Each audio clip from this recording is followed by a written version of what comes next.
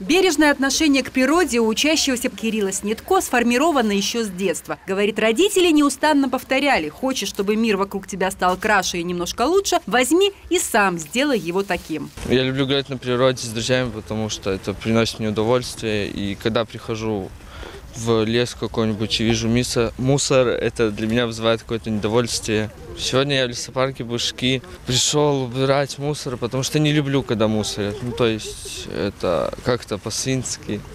То есть прийти не убрать, это поступить подло. Правило не мусорить там, где живешь, а наоборот украшать, придерживается и будущий парикмахер Валерия Молокович. После лета в лесном массиве Пышки под ковром из желтых листьев виднеются пластиковые бутылки, стекло и другой неразлагающийся мусор. А ведь все это наносит экосистеме непоправимый вред. Я знаю очень много интересных фактов, и один из них – это, например, э, пластмассовая бутылка.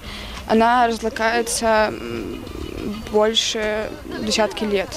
А, например, просто какие-то останки, остатки еды, они разлагаются на протяжении буквально месяцев. Существует же просто огромное количество мусорок, и я не понимаю тех людей, которые просто могут посидеть где-то в лесу, даже если это просто посиделка у костра, почему бы просто не убрать за собой мусор?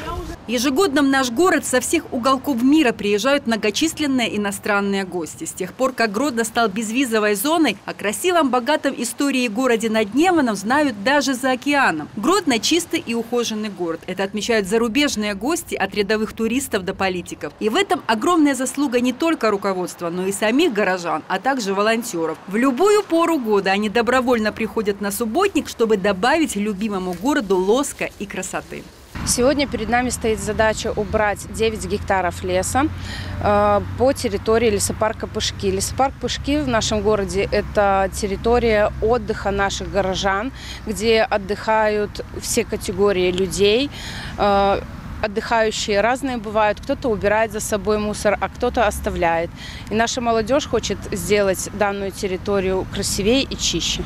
Провести субботу на свежем воздухе с пользой для родного города предпочли не только молодые люди, но и те, кто постарше. Учащиеся или руководители общественных объединений и предприятий, заводчане или офисные работники, пенсионеры или госслужащие, неважно. Главное – это гвардия неравнодушных людей. Мы э, жители этого района, мы любим нашу лесопарковую нашу зону. Здесь летом люди загорают, отдыхают, наверное, мусорят.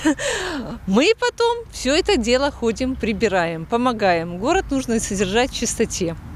И жители района неравнодушны к этому, всегда выходят на эти акции. У нас и весной, и осенью проходят эти акции. И все потому, что приятно гулять в чистом лесу и дышать свежим воздухом. А вот тех, кто мусорит в лесу, оставляет после себя в парках и скверах неприятные метки, наказывают рублем. Штраф от 20 до 300 базовых величин. Благо, количество тех, кто по зову души берет ответственность за родной город в свои руки и стремится принять участие в глобальной уборке города, год от года растет. Хотя, говорят, чисто не только там, где постоянно убирают, а там, где не сорят. Алла Сергей Печерица, Новости, Гродно Плюс.